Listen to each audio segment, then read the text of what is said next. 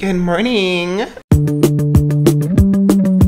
How do I record myself like this? How do I do it? Like this? It's me, I just woke up. Today I'm gonna be recording a video about all the secret things that I love to do. It's um, Sunday and I slept for 14 hours. Yeah, I guess my body really needed the rest. I woke up at 7. I was like, okay, I'm just gonna like lay in bed. I fell back asleep. I think um, I look much better from a higher angle.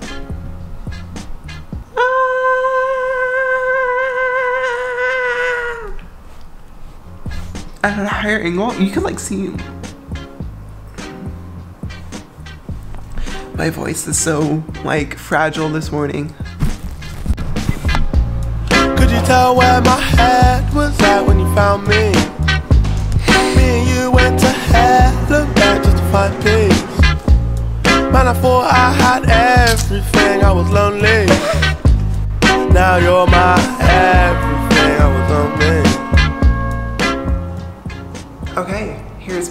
Good morning.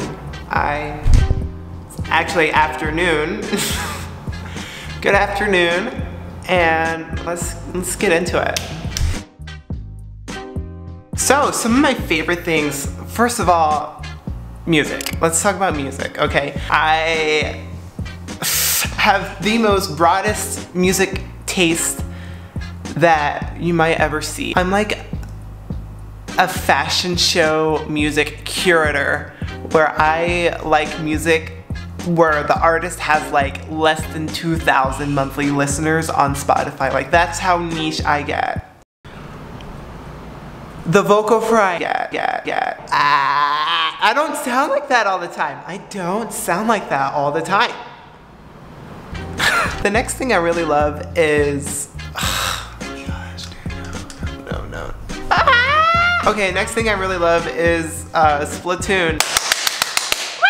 I used to play it so religiously. I, I, don't play it anymore as of a couple weeks ago because the new Zelda game came out. So I actually have been playing that a lot. I'm kind of at my phase now where I'm away from that. Like I got back into loving my Nintendo Switch and then now I don't really play it as much anymore just because the ebbs and flows of life.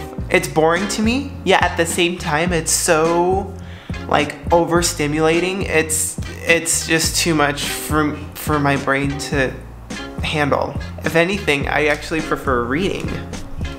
What? Reading? Who has time to pick up a book? Here, let me show you. Right there, I'm reading this book and it's called The Body Keeps the Score. And it's really, um, really interesting read.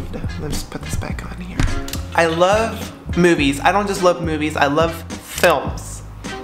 I love films. Actually, what am I gonna be watching today? We're gonna we're going through this together. The Grand Budapest Hotel, or I'm gonna be watching an A24 movie. I think the uh, what's it called? Lady Bird. Okay, let's get into some of the big things. One thing about my life that I don't really share too much of, but it's a big part of my life, is meditation. I have been meditating February 1st, 2018. So over five years I've been meditating. And it's been a pretty regular thing and it's allowed me to, it's one of the contributing reasons of how and why I've matured so much in such a short amount of time. It's just because it, it's finding that calm who wouldn't want to have a more calm life? Who wouldn't want to have a more peaceful, less stressed, less reactive life? You know? And I couple that in with yoga.